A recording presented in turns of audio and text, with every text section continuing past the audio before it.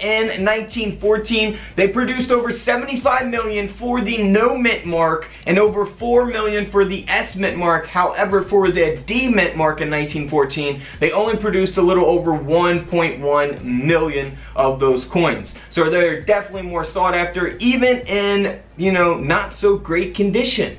First up, here is a 1914 wheat penny that has not been graded. It's sold on eBay as is, just like you see here in the image, for over $1,900. $1,900. Now if we move on to this penny here, this is graded by PCGS at about uncirculated 58. So it isn't a mint state grade, but we're gonna look at a mint state grade here in a minute. This 1914D sold for over $4,000. $4,000. So of course, the better the grade, the better the condition of the coin.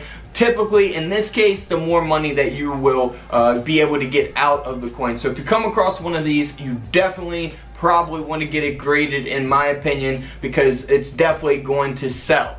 Now, here is a 1914D that has an extremely high grade. Now, this coin is graded at a Mint State 66 red. Again, if you are not familiar with red pennies versus brown pennies, I've done a whole video on that, so make sure you guys go check that out. Now, because of this high grade, this penny here sold for over $80,000. When coins sell for this much, it's because there's probably not many of these coins out here graded at this grade or higher. So that will, of course, you know, increase the value of the coin and the demand for it. So let's move on to another 1914 in not so great condition. Again, now this coin is not graded by a coin grading company. It's sold on eBay as is for over $285.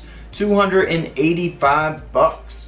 Now here's the 1914 no mint mark. Again, I told you they produced a lot of these. However, this is an extremely high grade, graded at a mint state 67 red. And because of that, this wheat penny sold for over $28,000. 28,000, man, I could do so much with that. Moving on to a 1914 low grade. Now this is a lower grade. It's graded at a very fine 20. You can see that it's not in the best condition. However, the coin still sold for over 10 bucks. $10 penny.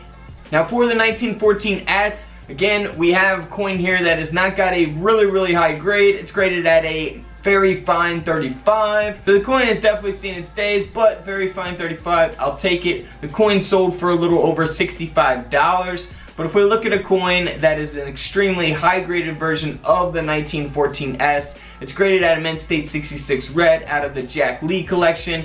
And this coin here sold for over $83,000.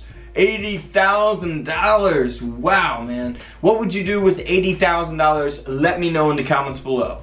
Don't forget to subscribe in the middle, check out the videos to the left of me, and until tomorrow, I'll see you all in the comment section below. This is Couch Collectibles, and this is where I disappear.